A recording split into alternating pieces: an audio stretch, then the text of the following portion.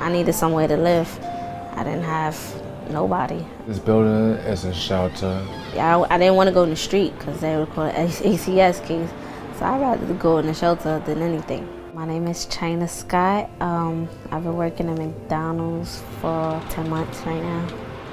I'm Joshua Williams. Uh, I've been working at Wendy's for a year and two months now.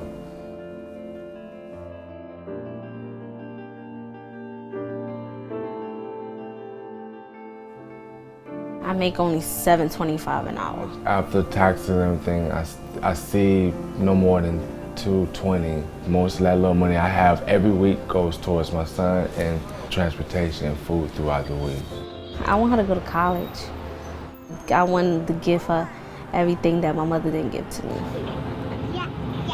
It's a struggle because at the end of the day, I keep thinking about it's a little bit of pay, and I'm a very hard, dedicated worker, and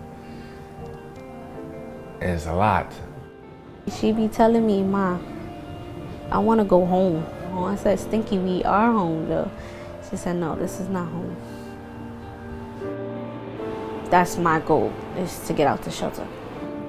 But I can't get out the shelter with a $200 check. That's, no, that's impossible.